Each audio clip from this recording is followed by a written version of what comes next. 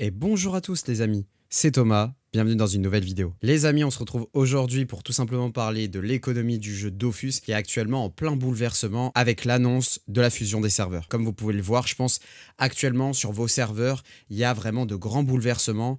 Euh, je sais pas pour vous, mais c'était une petite vidéo juste pour pouvoir tout simplement en parler et discuter entre nous.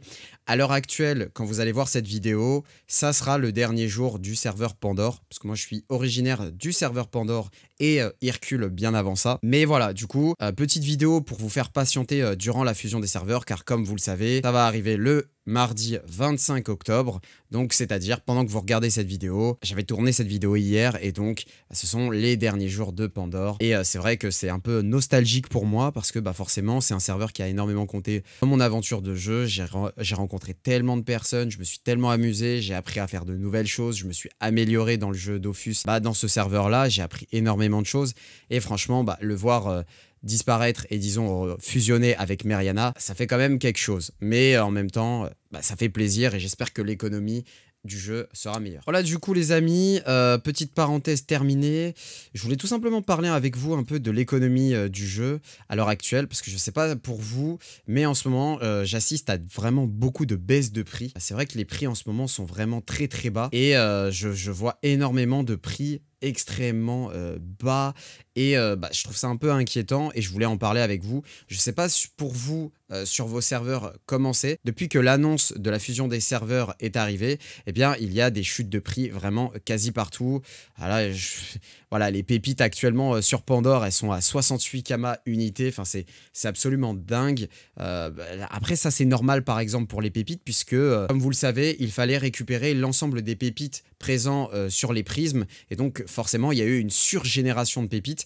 Et c'est ce qui va se passer également, je pense, sur Meriana. Donc voilà, globalement, c'est vrai que les prix euh, diminuent énormément. Est-ce que vous pensez qu'il va y avoir une crise économique sur Dofus? Alors ça, après, chacun euh, en fait euh, son opinion et ça dépendra de quels serveurs vont fusionner avec quel autre serveur. Mais globalement, bah moi, j'assiste à des baisses de prix sur pas mal de serveurs. Donc là, pourquoi? Pourquoi les prix chutent Après, pour moi, il y a plusieurs raisons.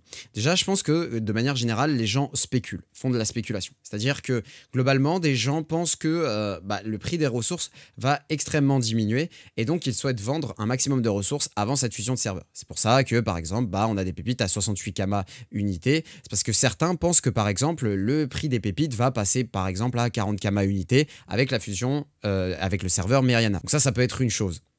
Et donc, bah, bah, c'est une des raisons qui explique que, les prix en HDV soient aussi bas, c'est parce que beaucoup de gens veulent vendre des ressources et veulent tout simplement obtenir des kamas. La deuxième chose, c'est tout simplement les gens veulent un maximum de kamas avant euh, la fusion des serveurs. Bah, en fait, ça paraît tout bête, mais effectivement, il y a énormément de gens qui veulent récupérer un maximum de Kama possible pour tout simplement faire des bonnes affaires le jour de la fusion. Un truc tout bête, bah là actuellement je suis sur Pandore et je pense que les gens veulent un maximum de Kama euh, disponibles en banque pour tout simplement les utiliser demain, c'est-à-dire aujourd'hui quand vous allez voir la vidéo le 25 octobre. Et aussi, autre explication, les gens ont peur qu'il y ait une trop grosse chute de prix et donc bien entendu, bah, ils veulent vendre leurs ressources maintenant pour tout simplement éviter cette baisse extrêmement grande. Alors du coup, on peut se poser la question suivante, est-ce qu'il euh, peut y avoir une crise économique? Euh, Alors après... Euh, c'est assez compliqué d'analyser. Tout dépend aussi du secteur dans lequel vous êtes. Si vous faites, je ne sais pas, du brisage, si vous faites tout simplement,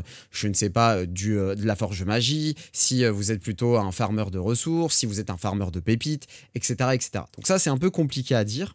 En revanche, il y a des choses qui vont être sûres et certaines. Je pense que Ankama va devoir intervenir pour pouvoir tout simplement protéger l'économie.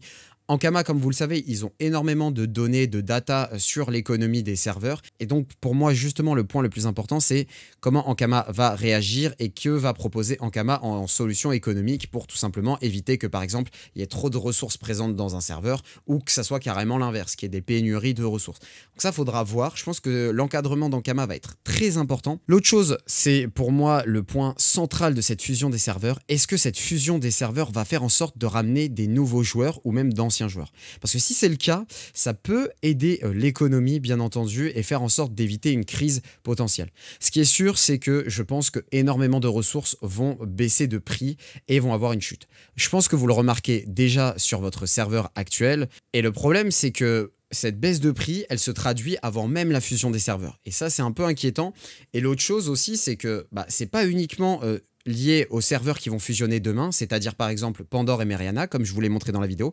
Là, le souci, c'est que même les autres serveurs dont la fusion n'est prévue que dans un mois, deux mois ou euh, trois, quatre semaines, eh bien les prix baissent énormément. Un truc tout bête, bah là, euh, regardez sur Elisael, les prix ont vachement diminué, vraiment pour le coup. Un truc tout bête, les œils de chocotte, pour moi, ils étaient aux alentours des 9000 à 10 000 kama unités. Là, on les retrouve aux alentours des 4000 kama unités, donc presque le prix divisé par deux. Pareil pour les carapaces de verre de sable. En fait, euh, ils étaient de base aux alentours des 5000 à 6000 kama. Là, ils sont plus qu'à 800 kama. Pareil, notamment, bah, je vais vous le montrer pour les galets. Les galets, c'est vraiment un indicateur très important parce que les galets euh, brésiliens sont les plus utilisés euh, du jeu à l'heure actuelle parce que bah, tu peux craft des items, des idoles, bref, tu peux craft plein de choses avec. Et en fait, bah, quand tu vois les prix, eh bien, il y a une vraie baisse de prix. Avant euh, l'annonce de la fusion des serveurs, les galets brésiliens étaient aux alentours des 250 000 kama unités. Là, depuis l'annonce de la fusion des serveurs de JH et Ilisael, qui n'est pas encore prévu euh, tout de suite, tout de suite, hein, mais qui va arriver d'ici grand max un mois, voire deux mois, eh bien, va regardez, c'est passé de 250 000 kama à 213 000 kama. Donc une baisse de 40 000 kama, ce qui est vraiment très important. Et globalement, il y a une baisse de prix sur un peu toutes les ressources. Vraiment, là, pour vous rendre compte, ce boomerang du colac sanguin, je le vendais aux alentours des 8 000 à 10 000 kama. Là, il est passé à 2 000, soit une division de prix par 4. Et donc, bah voilà, c'est ça aussi qui est un peu disons, inquiétant, c'est cette baisse de prix continuelle. Pareil pour les pépites. Les pépites étaient aux alentours des 20 000 kama unités pour 100 pépites. Là, on est aux alentours des 15 000, soit une baisse de 5 000 kama. Donc voilà, c'est aussi un peu euh, inquiétant.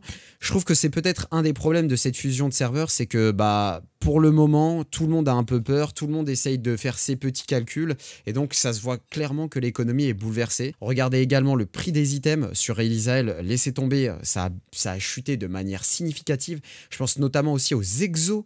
Les exos PAPM ont baissé de prix. Alors, les moins bons jets sont vraiment pas très très chers, mais pour le coup, vous avez vraiment des baisses de prix assez significatives.